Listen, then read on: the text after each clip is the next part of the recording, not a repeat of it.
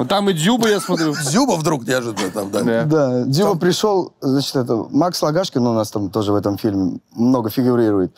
И Дюба к нему приехал на моей поминке, на поминке моего героя, на Мосфильм, просто в гости. В шортах. И Марюш такой, о! Надел ему пиджак, штанов на него не нашлось, потому что он здоровый. И он сидел за столом, значит, в, в шортах и в, и в пиджаке. Вот так вот. Вот так вот. Вот с этой история. штукой, которую он игрался на видео, да, потом? А, да, да.